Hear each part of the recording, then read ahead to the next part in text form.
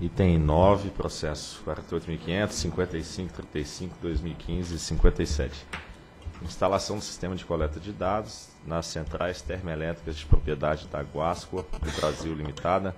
no estado de Rondônia. Diretor-relator, doutor André Petoni. A Resolução Normativa 427 de 2011, na esteira da Lei 12.111 de 2009 e do Decreto 7246 de 2010, estabelecem os procedimentos para planejar, formar, processar e gerenciar a conta de consumo de combustíveis fósseis. O artigo 15 da resolução fixa a obrigação do agente de geração ou distribuição, detentor de empreendimento de geração, de implantar ou adequar, em até um ano após a publicação da norma, o sistema de coleta de dados operacionais, o SCD, destinado a medir, registrar, armazenar e colocar à disposição os dados referentes às grandezas elétricas e ao consumo de combustíveis para ressarcir a CCC e reconhecer nas tarifas de energia. Como a Resolução Normativa 427 de 2011 foi publicada em 11 de março de 2011, o prazo encerrou então em 11 de março de 2012. E a Guasco do Brasil, mediante correspondência protocolada em 20 de janeiro de 2012, propôs dispensar instalações de medidores de combustível para as centrais geradoras com potência instalada acima de 1 mega, cujos contratos findassem em julho de 13 e em fevereiro de 14, haja vista que não se justificaria o investimento considerando-se a exiguidade do prazo remanescente de operação comercial das usinas. E por meio do ofício número 209, de 22 de fevereiro, as superintendências SFG e SRG, conquanto não tivessem competência para decidir sobre o pedido, autorizaram que apenas para as usinas com potência instalada acima de 1 mega, cujos respectivos contratos encerrem-se em julho de 13, o SCD se abstenha de medição do consumo de combustível. E na sequência, por intermédio de carta de 22 de outubro, a Guasco solicitou nova prorrogação do prazo para instalar medidores de fluxo de combustíveis nas usinas com mais de 1 mega de potência instalada, cujos contratos de compra e venda de energia elétrica com a, Ceron encerrassem em julho de 14. A SRG, mediante o ofício 157 de 25 de junho de 14, anuiu a prorrogação solicitada para as usinas cujos contratos de energia vencessem em julho de 14. A superintendência novamente deixou de observar que não detinha competência para decidir sobre o pedido deveria ser remetido para o colegiado. Ocorre que, por meio da carta de 8 de outubro de 2014, a Guasco solicitou nova prorrogação do prazo, haja vista a celebração do 11º termo aditivo ao contrato entre Guasco e Seron, que prorrogou o fornecimento de energia elétrica por 12 meses a partir de 29 de julho de 14. Mais uma vez, ainda que incompetente para decidir, a SRG, pelo ofício número 278, de 20 de outubro, entendeu oportuno renovar o permissivo de abstenção da, da medição. Sucede que a Guasco, por meio de carta sem número protocolada em 5 de novembro de 15, por considerar a celebração do 12º e do 13º termo aditivo, que prorrogavam o fornecimento de energia elétrica até 30 de setembro de 15 e 30 de outubro de 15, respectivamente, novamente solicitou dispensa da instalação de medição de combustíveis, a partir de 29 de julho de 15, até que o novo produtor independente sagrado vencedor do lote 2 do leilão número 1, entrasse em operação comercial no estado de Rondônia. Na carta, a Guasco solicitou ainda que, segundo informado pela Seron na carta número 90, de 4 de novembro, que o combustível consumido na, nas UTS da Guasco em agosto e setembro de 2015 não fora reembolsado pelo Fundo CCC, haja vista que a Guasco não apresentara as medições de combustíveis via SCD e a tabela 1 apresenta os valores não ressarcidos pelo fundo. Então foram 23 milhões e 400 em agosto e 21 milhões e 800 em setembro, que totaliza 45 milhões e 242 mil reais. E por intermédio da nota técnica 140 de 4 de dezembro de 2015, a SRG analisou o pleito da interessada e em 7 de dezembro de 2015 o processo foi distribuído por sorteio público essa relatoria ao relatório. Procuradoria. Procuradoria faz uma manifestação conjunta para os itens 9, 10, 11 e 13, opinando em todos eles pela presunção de juridicidade da decisão a ser proferida pela diretoria.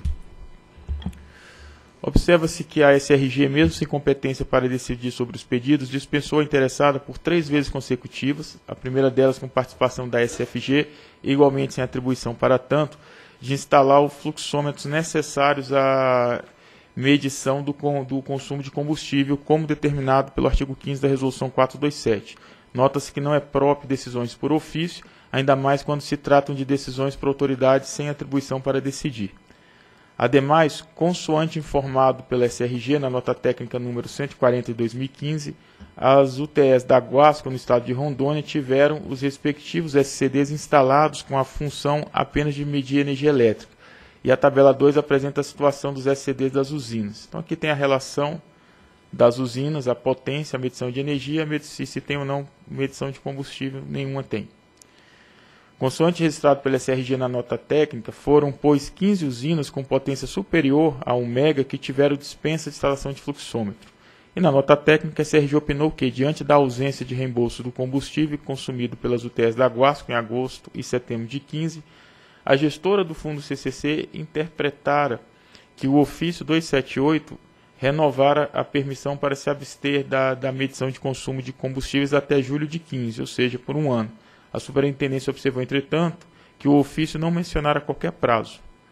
A unidade organizacional ponderou na nota técnica que, persistindo o entendimento da gestora do fundo CCC, a situação se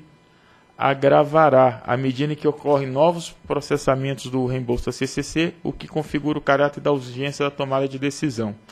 A SRG observou ainda que, por meio da Carta 202, de 5 de novembro, a Seron informara que a entrada em operação comercial do consórcio Novo Horizonte, produtor independente de energia elétrica, vencedor do lote 2 do leilão 1 de 2014, ocorreria em 6 de janeiro de 2016, cabendo a Guasco adotar todas as providências inerentes à desativação das centrais. Dessa maneira, diante do exíguo prazo remanescente de operação das centrais geradoras da Guasco, ou seja, até 6 de janeiro de 2016, bem como do elevado investimento necessário à instalação dos fluxômetros, a SRG recomendou que a decisão contida no ofício 278 lá de 2014 fosse mantida, ou seja, que a Guasco fosse dispensada de instalar a medição do combustível desde julho de 15 até entrar em operação comercial do PIA vencedor do, leilão, do lote 2 do leilão 1 de 2014. A situação é curiosa. A SRG dispensou a Guasco por três vezes consecutivas de cumprir a expressa disposição normativa contida na Resolução 427, que impõe os agentes instalar o sistema de medição de combustíveis com potência acima de 1 MB. Na primeira decisão, consubstanciada no ofício número 209, foi tomada com base na premissa de que os contratos findariam em julho de 13. Na segunda, no ofício 157-14, estendeu o entendimento aos contratos que supostamente venceriam em julho de 14. E na terceira,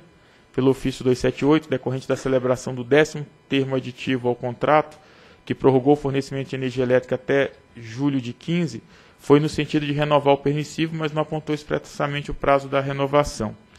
Ainda que materialmente justificáveis as dispensas autorizadas pela SRG, o que é em si discutível, pondera-se que a edição da Resolução Normativa 427 e a própria necessidade de instalar o SCD compreendendo a medição de combustíveis, foi precedida de amplo debate em audiência pública, na qual todos os agentes setoriais, notadamente os diretamente afetados pela norma vindoura, tiveram ampla oportunidade de apresentar contribuições e manifestações.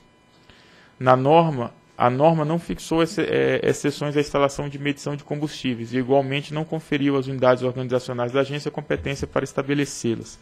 Dessa maneira, deve-se registrar que os pedidos das guardas deveriam ser sido instruídos e encaminhados para a decisão desse colegiado. Observa-se, todavia, que as decisões contidas nos ofícios não acarretaram lesão ao interesse público nem prejuízo a terceiros, pois foram, ao longo de todo o período de dispensa de instalação da medição de combustíveis, observados os limites regulatórios de consumo específico, que foi fixado na Resolução 427 Dessa maneira, por considerar sanável o vício de competência, julga-se que, nos termos do artigo 55 da Lei 9784 de 99, tais decisões podem ser convalidadas por esse colegiado.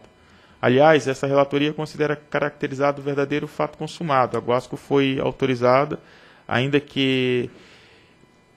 viciadamente a não instalar a medição de combustíveis desde 11 de março de 2012. Nota-se que o ofício 278, ainda que possa ser interpretado como renovação da dispensa até 29 de julho de 15, até a data que fora prorrogado o contrato pelo 11º termo aditivo, não apontou expressamente o prazo de renovação. Esse fato autoriza a interpretar que a renovação da dispensa fora concedida enquanto vigente o contrato.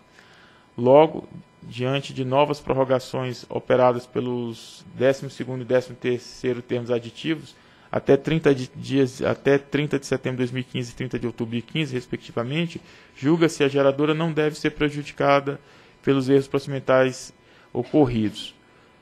Acresce-se que a previsão é de que o novo PIA entre em operação comercial em 6 de janeiro, portanto, daqui a 22 dias. Não há, pois, sequer prazo suficiente para instalar a medição de combustíveis, o que também exigiria elevado investimento sem qualquer propósito, pois, como informado pela SRG, na nota técnica 140, as UTS serão desativadas, onde nós já temos né, um leilão realizado e já homologado. Assim, essa relatoria considera que a Guasco deve ser dispensada de, de instalar a medição de combustível com potência instalada de acima de 1 MB desde julho de 15 até 6 de janeiro de 2006, de 16, data prevista para entrar em operação comercial o novo PIA, vencedor do lote 2 do leilão número 1 2014, sem possibilidade, todavia, de qualquer nova prorrogação da dispensa. Com base em tal exposição, considerando consta do processo número 48.500.005535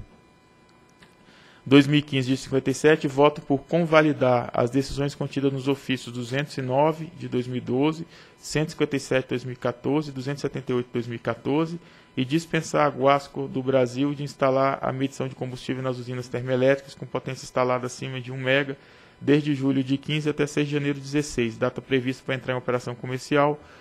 do novo produtor independente de energia, vencedor do lote 2 do leilão número 1, sem possibilidade, todavia, de qualquer nova prorrogação. É o voto.